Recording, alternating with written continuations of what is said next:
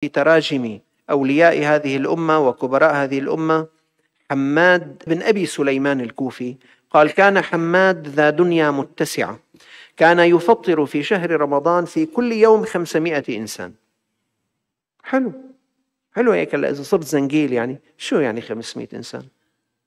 اضرب إذا الوجبة بقديش؟ مئة ألف ورقة سوري ضرب 500 50 مليون؟ إيه مو شيء. فضلت خيرك. حلوة. حلوة. لا إذا واحد معه مصاري كثير يا سيدنا. شو عليه إذا كل يوم 50 مليون؟ هكذا وهكذا وهكذا.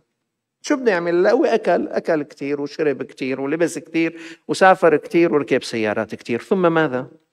المال قيمته عندما تنفقه. أما طول ما حطه بجيبتك أو بالمصاريف ما له قيمة مغلق عليه. حسابات أرصدة رقمية. بس لما تنفقه نياله اللي بيقدر كل يوم يطعمي 500 وبيطعمي ألف علما أيها الإخوة أن هناك إخوة. أنا أعلم أشخاصا هكذا يفعلون.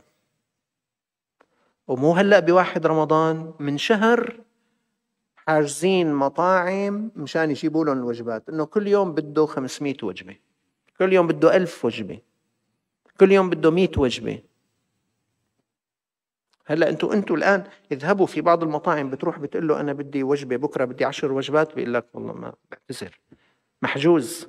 محجوز 30 يوم برمضان. كان حماد ذا دنيا متسعة وكان يفطر في شهر رمضان 500 إنسان. وكان يعطيهم في آخر يوم من رمضان لكل واحد 100 درهم. حلوة كمان هيك شيء 3 4 ملايين بالأخير. عن السلط ابن بسطام عن أبيه قال كان حماد ابن أبي سليمان يزورني. هذه اللي كان يفطر 500 واحد. قال كان يزورني. فيقيم عندي سائر النهار.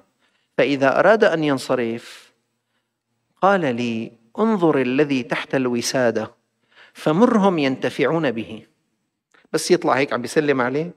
يكون صار قبل المغرب مثلا بربع ساعة بنص ساعة بده يمشي. يسلم عليه يقول له قل لهم للأهل في تحت المخدة شغلة. شوفوا ينتفعوا بما في تحت الوسادة. قال فأذهب فأجد الدراهم الكثيرة. لما يودعوا يفوت يفرع على المخدة هيك يلاقي كوشة دراهم. إن شاء الله يجي لعنكم وإن شاء الله أنتم كمان تروحوا لعند حدا وتحطوا له تحت المخدة. حلو إذا الإنسان الله أكرمه ووسع عليه كان رسول الله صلى الله عليه وسلم أجود الناس وكان أجود ما يكون في رمضان كان كالريح المرسلة. فتعالوا نري الله تعالى من أنفسنا خيرا خاصة وأن النبي صلى الله عليه وسلم قال ينظر الله تعالى إلى تنافسكم فيه. هلا الله عم يطلع على شو نحن بدنا نتنافس. أنا بدي أسبقك وأنت بدك تسبقني. أنت بدك تسبق هذا الأخ هو بده يسبقك.